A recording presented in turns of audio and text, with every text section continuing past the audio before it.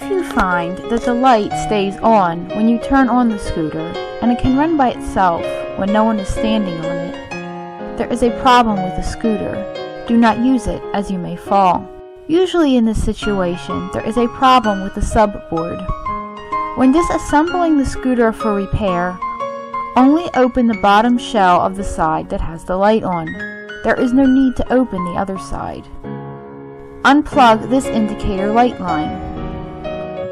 This is the subboard's power line. To avoid a short circuit, unplug the subboard's power line before disassembling the subboard. Take out the screws.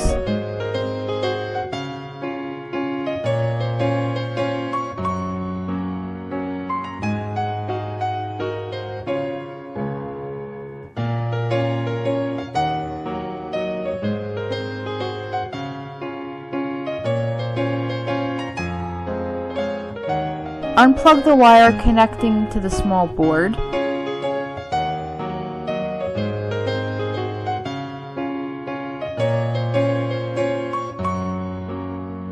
And install a new subboard.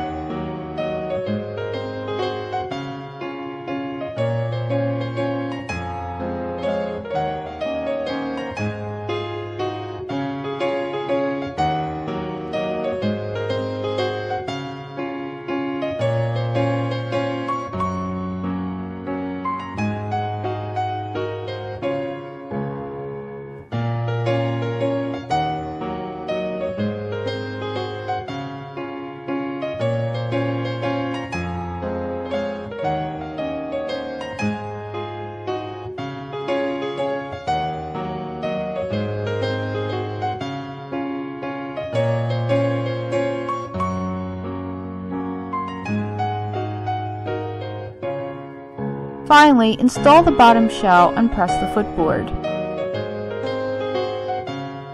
If the motor and the indicator run well, everything is okay.